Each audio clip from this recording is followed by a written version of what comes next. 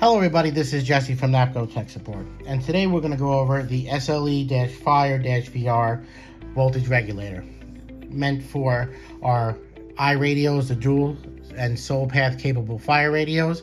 When you connect it to an FACP, that's above 27.5 volts.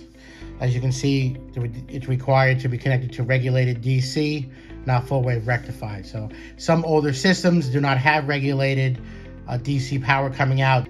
For that, we can use the SLE-VR-Fire. It's color coded. One side says connect to the panel, and the other side says connect to the SLE radio. It's only going to be on the positive connection. The negative will still go direct to the radio.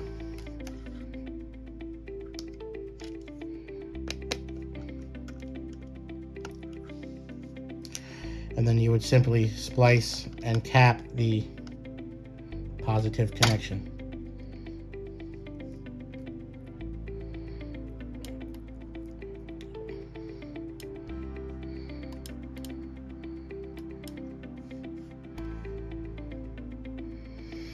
And as you can see, it'll power up the radio and you can use power sources higher than 27.5. As always, for more information, you can visit on the web at tech.napcosecurity.com. Thank you all for watching.